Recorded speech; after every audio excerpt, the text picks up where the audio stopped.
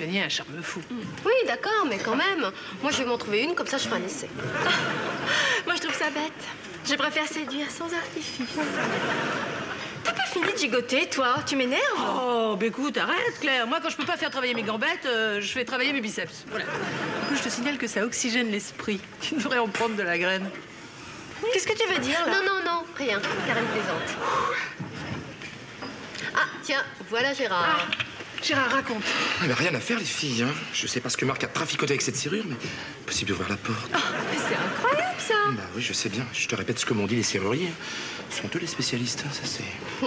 Enfin, que si ça continue comme ça, euh, Marc et Émilie vont y passer la nuit dans la salle du bain. hein. Hmm, on se demande pour lequel des deux sera le plus intéressant.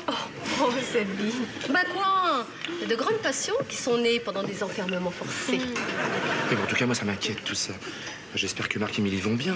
Ça fait pratiquement une heure qu'on les entend plus, ou presque. C'est pas vrai. Mais si, je t'assure. Faut dire que Marc a tellement rouspété, tellement secoué la porte, que les serruriers l'ont menacé de le laisser comme ça moisir dans la salle du bain s'il continuait. Oui. J'ai l'impression qu'il est vexé. hein. Tu le connais aussi bien que moi. Oui, ça, ça m'étonnerait pas. Avec le caractère qu'il a. mais quand même, je connais beaucoup mieux Marc que toi, tu vois. Alors justement, ça me permet de dire que il a dû sûrement décider de rester zen, tout simplement, et, et de prendre son mal en patience.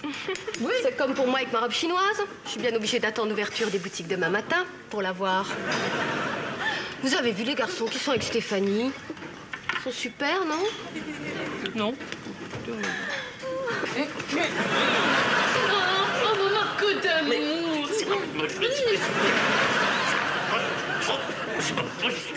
Non mais Émilie, Émilie, Émilie, Émilie, rendez-moi cette poignée, Émilie, s'il vous plaît.